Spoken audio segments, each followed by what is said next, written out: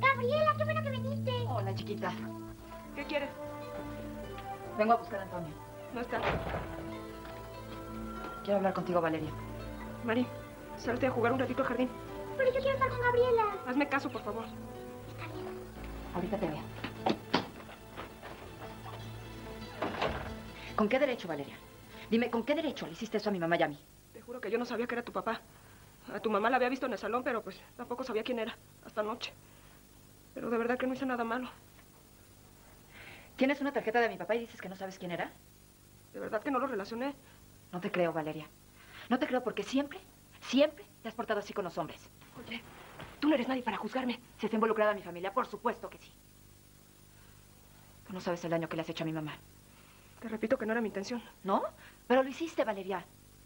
¿Hasta cuándo piensas seguir lastimando a los demás, Valeria? Porque no solamente dañas a Antonio, sino también a Mari. No la mereces. No mereces una niña como ella. Ojalá Dios te perdone.